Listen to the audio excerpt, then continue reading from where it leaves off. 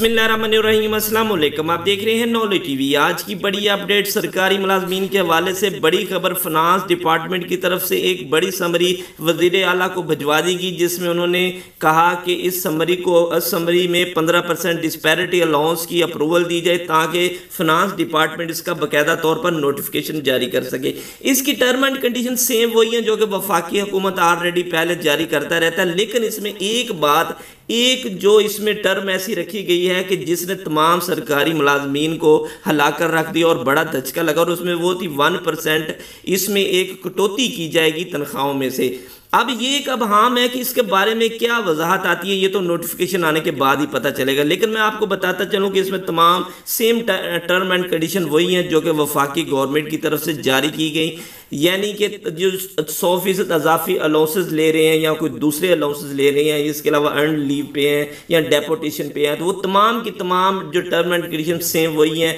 और पंद्रह percent disparity allowance के लिए बाकायदा तौर पर मंजूरी के लिए ये जो समरी भिजवा दी गई।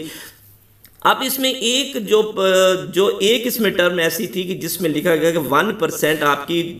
जो स्केल 2017 के मुताबिक कटौती होगी, जो कि ग्रेजुएटी और पेंशन में आपकी मद में वो रकम जमा की जाएगी। लेकिन मुझे इससे ये मालूम लगता है क्योंकि ये नोटिफिकेशन खैबर पख्तूनख्वा गवर्नमेंट की तरफ़ से जारी किया गया था, क्योंकि वहाँ पे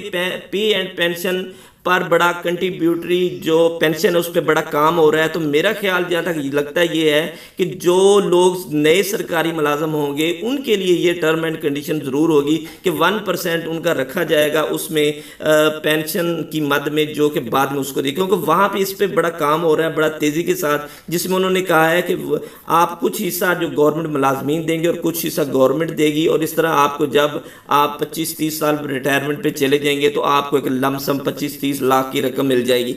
मे बी वो हो सकता है या मे बी ये भी हो कि फौरी तौर पर अगर इनके पास इतने पैसे ना हो फिनांस डिपार्टमेंट के तो वन परसेंट जो रकम है उसमें से रखना चाह रही हो। और अब इसमें, अब हाम ही है इसके, इसका जब नोटिफिकेशन जारी होगा, फिर पता चलेगा कि इसके बारे में क्या कुछ वो जो फिनांस डिपार्टमेंट करना चाह रहा है। लेकिन अभी यही है कि वन परसेंट कटौती उसमें से होगी आपको पंद्रह परसेंट की मंजूरी के लिए। बाकायदा तौर पर यह समरी वज़ीर अला खैबर पख्तूका को रवाना कर दी गई इसमें सेम तमाम चीज़ें उसमें वाजे कर दी गई हैं, जिस तरह ये समरी पुटअप की गई है और उसके बाद इसका नोटिफिकेशन होगा। बहरहाल ये है कि सरकारी मुलाजमीन के लिए रनिंग बेसिक पे पर यह नोटिफिकेशन जारी किया जाएगा और रनिंग बेसिक पे पर यही तमाम ये समरी पुटअप की गई है और सरकारी मुलाजमीन के लिए बड़ी खबर है और बड़ी खुशखबरी। Thanks for watching